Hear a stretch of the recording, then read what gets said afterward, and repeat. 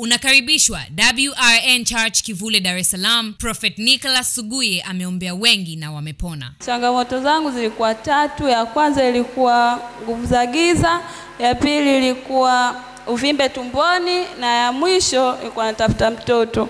Asante sana Mheshimiwa Mwenyekiti kwa kunipatia nafasi ya kutoa ufafanuzi kuhusu uh, mwongozo ambao umetolewa na Mheshimiwa Martha Mlata wa vitabu ambavyo vimekuwa vikisambaa mtandaoni.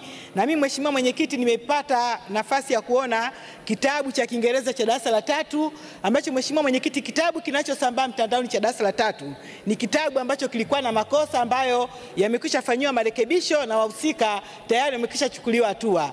Lakini pia kipo kitabu ambacho kinasambaa ambacho kinaonyesha mwili wa binadamu, na kwa kweli mishale ya ile ya mwili wa binadamu imewekwa ovyo ovyo.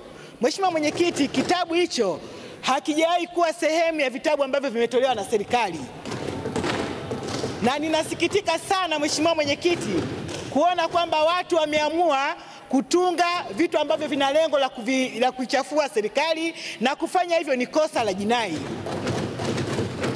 Mheshimiwa Mwenyekiti, ninafurahi kwamba vyombo vyetu vya ulinzi na usalama viko hapa leo. Kwa hiyo naviagiza mara moja vitafute watu ambao wanatengeneza hizi taarifa za kugushi na kuchafua serikali ili wachukuliwe hatua, kwa sababu huo ni uhalifu.